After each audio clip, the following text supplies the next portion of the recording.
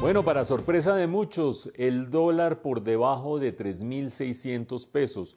Un valor que no veíamos desde hace unas cinco semanas, ustedes lo han visto en la nota de Ismael, y un valor que sorprende a todos los que han visto factores que tensionan el entorno económico que la situación de la recesión internacional, que la expectativa del coronavirus, que qué va a terminar sucediendo con la recuperación del empleo y de la producción en Colombia. Una cantidad de interrogantes que llevaban a muchos a decir la situación con el dólar se va a poner complicada.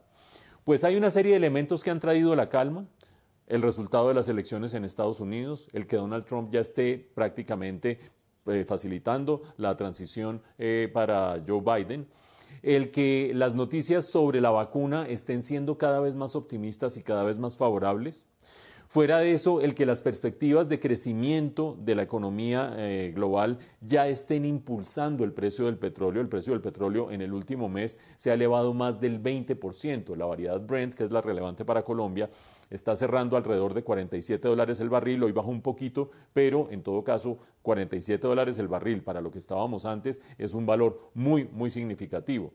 Y fuera de eso, en el caso de Colombia, un elemento adicional y es que hemos dicho muchas veces en este noticiero que existe una preocupación de las calificadoras de riesgo internacionales, esa especie de agentes que están mirando si podemos pagar o no pagar nuestras deudas, sobre el descuadre fiscal del gobierno colombiano y sobre las perspectivas de la deuda pública colombiana. Pues las calificadoras de riesgo nos han apretado un poco la calificación, pero han dado un compás de espera, un compás de espera quizás durante todo el año entrante hasta que Colombia pase una reforma tributaria y en qué condiciones la pasará. Por lo tanto, se pateó el balón para adelante de la tensión y las cosas están más tranquilas. Con todos esos elementos de tranquilidad interna, tranquilidad externa, tranquilidad política, buen precio del petróleo, no es raro que el precio del dólar esté en estas condiciones. Pero ojo, les recomiendo que sigan este noticiero, les recomiendo que en los próximos días estén eh, sintonizándonos. ¿Por qué?